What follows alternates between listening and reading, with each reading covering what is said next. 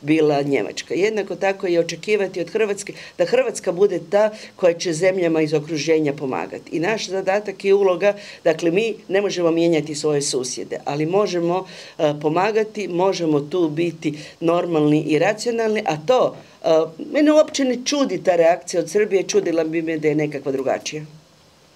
Još kratko samo, nastavlja se danas bojkot e, jedne zagrebačke osnovne škole zbog učenika problematičnog ponašanja.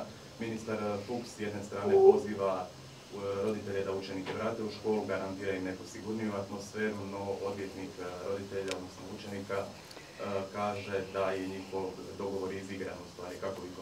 Dakle, ako želimo biti jedna pristojna i normalna država za koju se pokazujemo iz dana u dan da nismo takvi, onda sustavi trebaju funkcionirati.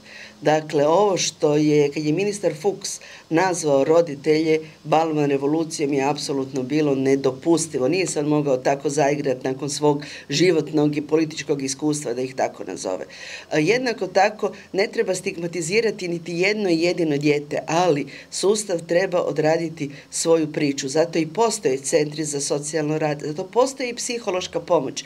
Mi smo u nekoliko navrata tražili e, i zaključkom da se obveže vladu da svaka e, osnovna škola i svaka srednja škola u Hrvatskoj ima pravo na psihološku pomoć. Ovdje je situacija zaista, e, ja razumijem i roditelje koji su odlučili svoju djecu jer više ne znaju kud, više ne znaju kako, ali jedno, jedno dijete od 10 godina dovesti u ovakvu situaciju, dakle ovo je već druga ili treća škola u kojoj ide, postoji problem. Uh, uh, lako je biti i funkcionirati ako nema problema pa ide sve niz rijeku, ali ovdje postoji problem s kojim se treba suočiti i riješiti. Uh, problem nikad ne, se ne rješava na način supro, suprostavljene strane trebaju za stol i vidjeti što i kako dalje.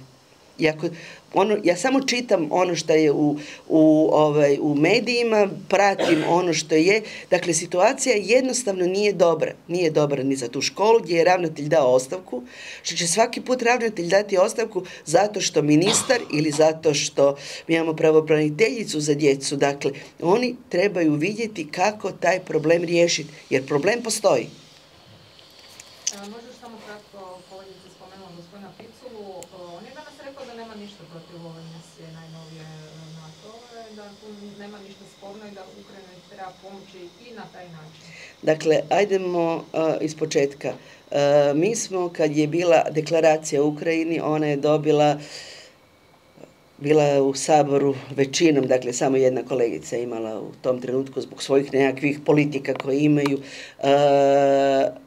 nekako je drugačije glasala. Ne, ne, dakle, ne treba nas ništa čuditi. E, gospodin Picula to gleda iz konteksta e, Europske unije, ali mi, dakle, tema Ukrajine više nije tema e, Ukrajine da ili ne. Naša tema Ukrajine u ovom saboru se pretvorila zapravo unutar političko, političko pitanje i tako je.